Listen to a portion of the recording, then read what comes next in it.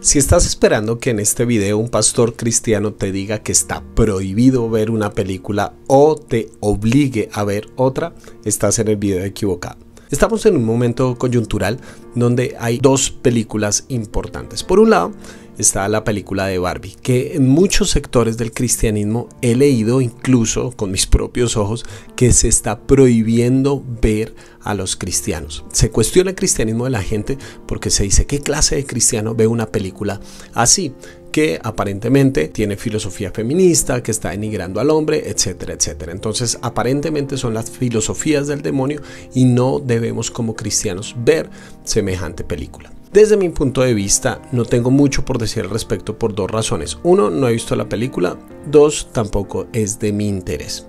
Pero en el otro extremo tenemos otra película que está por estrenarse, que es la película Zone of Freedom, producida por sectores importantes de personas creyentes. De hecho, hay videos en YouTube donde se habla que la película aparentemente iba a ser vetada por las grandes corporaciones, pero se hizo un esfuerzo para que saliera adelante. ¿Por qué razón? El tema es sobre la pedofilia y el tráfico de niños. Entonces es un tema muy sensible. Se dice que los creyentes debemos abanderar el cuidado de estas personas, lo cual es absolutamente válido. Pero hay un sector de personas que entonces dicen, ¿qué clase de cristiano no vería esta película? Es decir, si eres cristiano, tienes que ver esta película. Hay un problema de fondo ahí, y es que nosotros creemos que tenemos que enseñarle a la gente qué pensar, pero eso no es lo correcto. El trabajo de un maestro, de un predicador, de un pastor es enseñarle a la gente cómo pensar, darle herramientas para fortalecer su criterio. El propósito fundamental es ayudar a la gente en su madurez y en su conocimiento de Jesús. No podemos andarle a la gente dando todo masticado. ¿Qué clase de cristianismo es eso? Es darle a la gente los pasos para que ellos desarrollen un criterio. Por supuesto, esperamos basados en la Biblia, basados en el Evangelio, en lo que dijo Jesús pero no decirle a la gente qué debe o no debe hacer, sino que la gente tenga las herramientas suficientes para cuando vea una película, cualquiera que sea, la que ellos deseen, puedan decidir ese delgado e importante arte de retener lo bueno y desechar lo malo.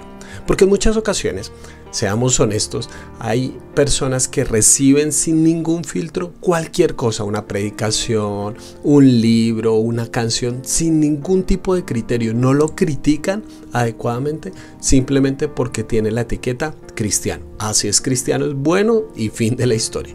Pero al mismo tiempo, en ocasiones nos perdemos de cosas quizás positivas que están por fuera de los dinteles de lo que nosotros denominamos cristiano. ¿Por qué?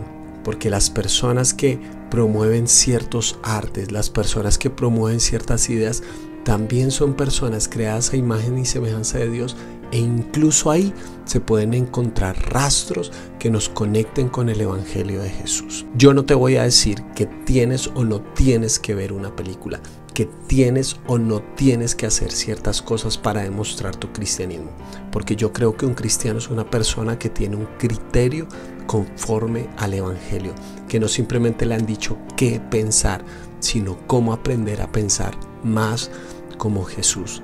Espero que puedas desarrollar tu criterio. Espero que, como dijo C.S. Luis, podamos tener un corazón de niño con un cerebro de adulto.